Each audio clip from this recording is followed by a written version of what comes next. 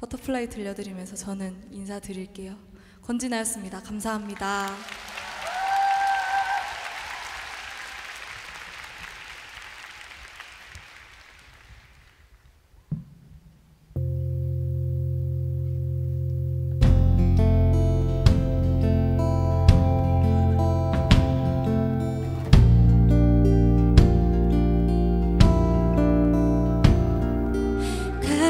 하면 할수록 가둘 수가 없는 법이래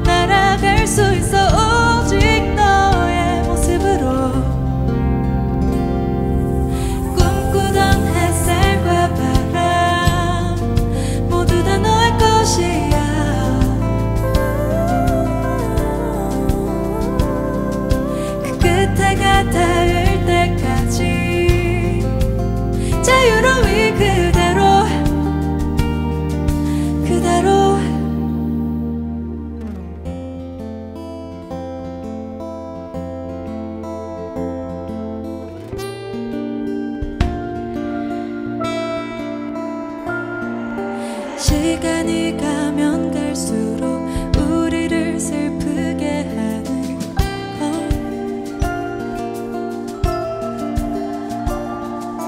더 이상 기대하지도 슬퍼하지도 않는